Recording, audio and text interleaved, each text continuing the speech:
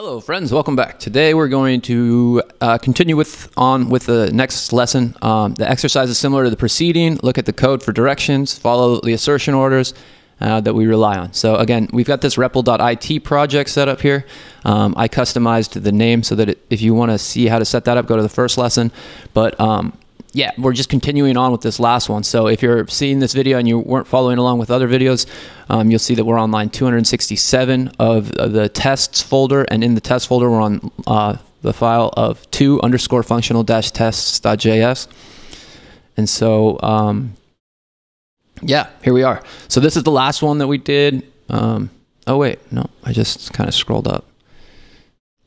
Um, so yeah, this is the last one that we did where we basically instantiated the browser, we fill in the surname with Colombo, we press the button of submit, and then we assert that there was a successful um, a, uh, put request um, placed there. I think that this is a GET request actually. Um, and then we say we want to assert that this is Cristoforo, this is Colombo, and that there's one element here. And then we're done. And so here it is. Uh, try it again. They're just saying no help this time. So let's see if I can do it without help. Um, so first, fill in the form. I think we go browser dot. Oh, I can't remember. Okay, I'm always looking at in instructions anyways. Browser dot fill. Okay browser.fill. And what, how do we know where this is coming from? We're going to find where uh, all, all the different things in this guy. So uh, fill, email, whatever. This is, you can always go to the documentation for the library you're using to get the information. So um, fill, what we want to do is go surname. We're filling out the form with the ID of surname. And we're going to put in something here like um, useful programmer. Okay. And then we want to assert that it's okay. So browser dot assert dot success. And that'll just call itself. This is just me going off my memory. No, browser dot fill surname useful program. Inside the element span name is Amerigo. Looks like we want to fill in this to be Amerigo, not useful programmer. So uh, browser dot assert dot text. And in there we're going to pick the ID and the text is going to be a span with an ID of um, name. And because we filled in Amerigo we want that to be what is there because we're asserting that that's what happened. Uh, this Vespucci same thing. Browser dot assert dot text dot and then we've got uh, span on the ID of uh, surname. And uh, yeah, that's going to be Vespucci. And then we want to assert that there's something there. So we go um, browser dot assert. And I missed a T here. Dot element and uh, I guess we just want to make that one because we're just doing the same thing as above. And then we want to get rid of this assert.fail because um, that's certainly a failing test. Um, cool. I'm just cleaning it up now. Um, we can stop the server and restart it to go. I just kind of want to double check to see if I got anything. It's element singular span dates. Okay, so that's what I missed. Sp we want to we want to get the ID with the span and dates. Um,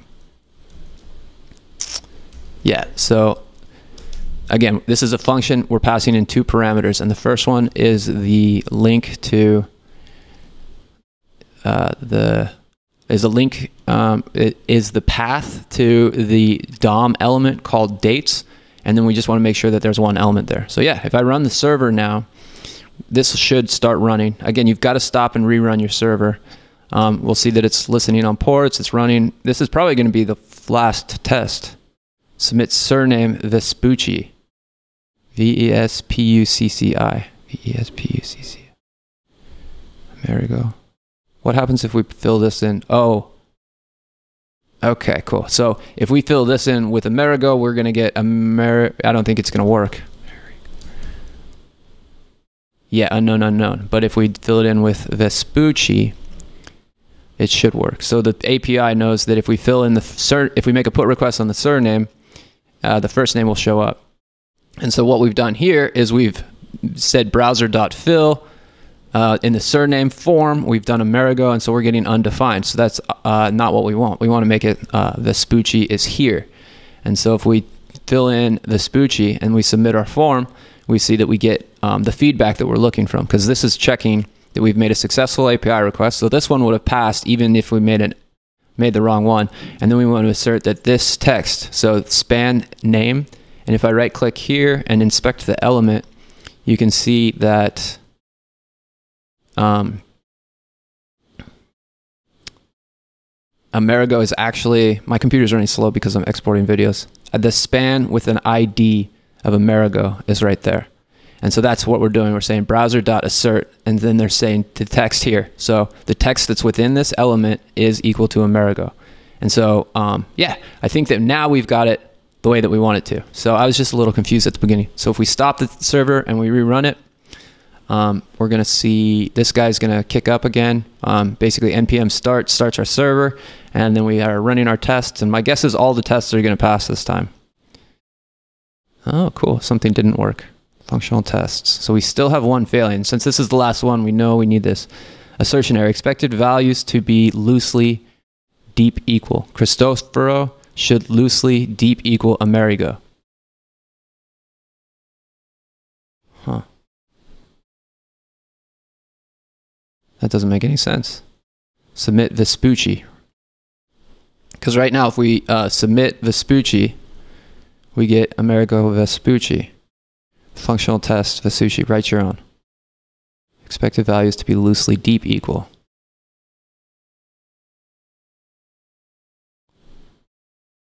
Node module zombie assert. So what it's saying to me right here, assertion error, expected values to be loosely deep equal. Cristoforo should be deep equal to Amerigo. Huh, I wonder if we just have an error here, because if we go uh, Columbus,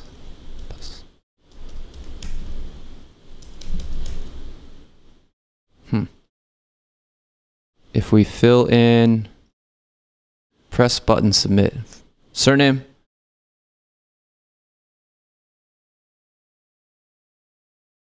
Oh, okay. So I'm making a mistake here. Okay, so browser.fill and then press button. Browser.fill. And then we want to chain on the press button of submit. And so that's not what we're doing right now. Browser.fill. And then we want to say dot uh, press button. Yeah. So we want to press the button of submit.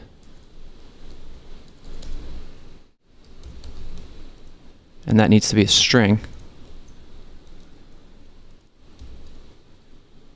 And then we're going to pass in a function.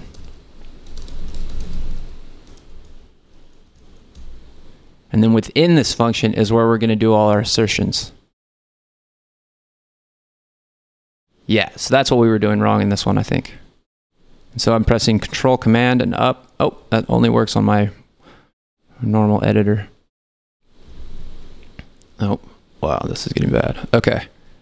And so what I want to do is just take all this code because it needs to be passed in to the uh, asynchronous call. So once we press the button, oh, there we go.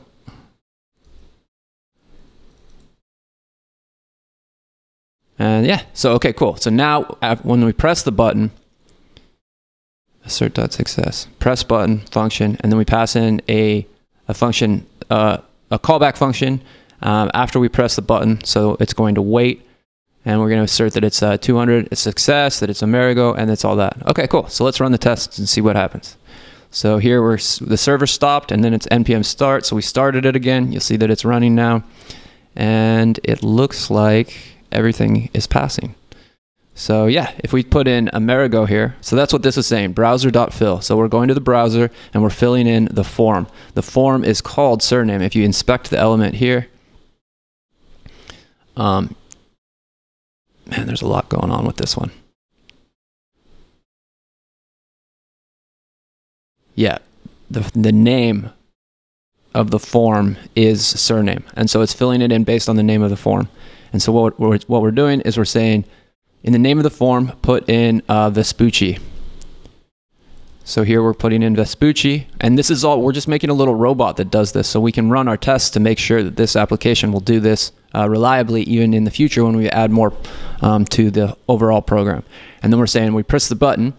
So on the submit, then it says so once the submit happens, it's going to say, "Is the was it a success?" So we have a successful um, put request sent here, and then we want to assert that the name, the span of the name, which is here, is Amerigo, which it is here, and then we want to assert that the surname is Vespucci, which it is here, and we want to assert that the dates are just one, and each of these correspond with the ID of the span element, which is this one, this one, and this one, and that's how that works. Um, cool. So if I copy this guy and go back to here, paste it in here, and you can say you've completed the challenge.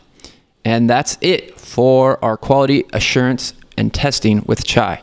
Um, so yeah, I want to just sum this up one more time. What we're doing with all this is we're making a bunch of little robots that we can run through our code, and they'll tell us um, if our program is operating the way that we want. And this is especially valuable stuff. Some people actually start with tests. They they call it test-driven development, and so you'll just actually write a bunch of tests like this, and then it makes it even easier for the programmer because all they need to do is go in and just work through a list of tests. So in a lot of ways, um, this is a super powerful tool, and uh, I think that the headless browser is interesting because I think it's just faster.